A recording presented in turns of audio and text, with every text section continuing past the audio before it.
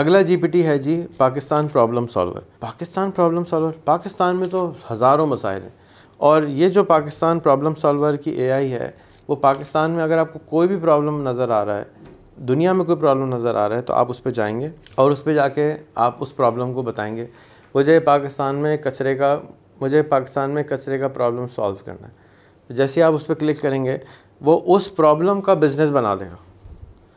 ठीक है?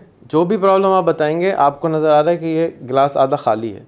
तो ये क्या करता है कि ग्लास को आधा भरा हुआ उसकी उसको बिज़नेस में कन्वर्ट करेगा उसका बिज़नेस मॉडल बनाएगा और आपको बिज़नेस करना सिखाएगा उस प्रॉब्लम को सॉल्व करने के लिए।